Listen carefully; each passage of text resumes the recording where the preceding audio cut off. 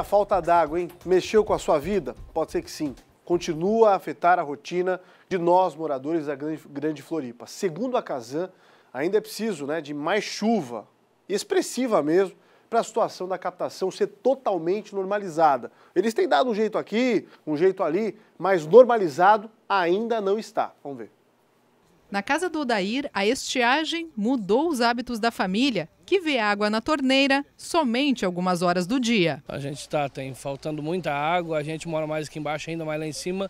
O pessoal está sofrendo bastante, isso está indo há um mês. Jason também está com uma situação complicada em casa e na empresa. A gente está economizando água em casa, está evitando lavar a roupa, está evitando lavar calçada, fazer muitas coisas em casa. Em entrevista coletiva, a Casan explicou que hoje as condições estão melhores, mas a chuva ainda precisa ser mais significativa para as condições voltarem ao normal. Tem que ter mais chuva né, durante essa semana, a semana que vem, para poder manter essa vazão que é necessária para poder atender o número de pessoas da região metropolitana. É o rio Cubatão quem está compensando a falta de água no manancial de Pilões.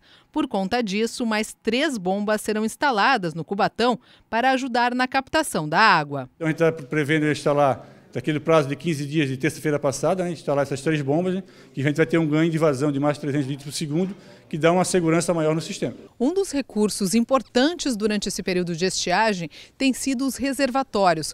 Hoje, a Casam mantém 42 estruturas que comportam 66 milhões de litros de água e ajudam a abastecer cinco municípios da Grande Florianópolis. Ainda para este ano, a companhia planeja construir mais dois reservatórios, um no Monte Cristo e outro em Forquilinhas. São reservatórios que dão suporte para o abastecimento da rede durante o dia, sendo reabastecidos durante a noite. O gráfico mostra exatamente essa condição de baixa nos horários de maior consumo. É que nem o cliente, ele tem que ter um reservatório adequado para um consumo de um dia, porque durante o dia geralmente baixa um pouco a pressão da redistribuição, ele consegue manter à noite encher de novo o reservatório. Então ele não vai ter problema no abastecimento. O que tem auxiliado a Casan nesse período de estiagem tem sido a tecnologia. Em tempo real, os pontos são acompanhados, permitindo uma resolução mais rápida dos problemas. Todos os sistemas hoje são monitorados remotamente, em tempo real. Isso faz com que qualquer problema de bomba,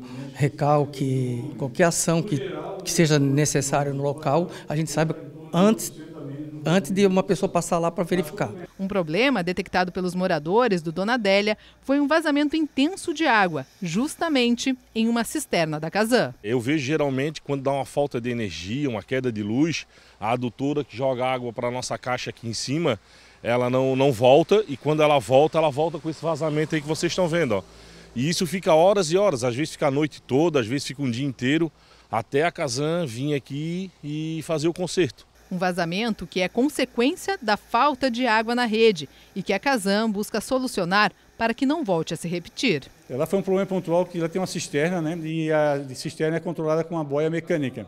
Então ela, com esse período de estiagem que teve, provavelmente ela ficou muito tempo na posição aberta, né? E com essa melhoria que teve no sistema, agora essa noite entrou um volume maior de água, ela não conseguiu vedar toda a água que estava entrando.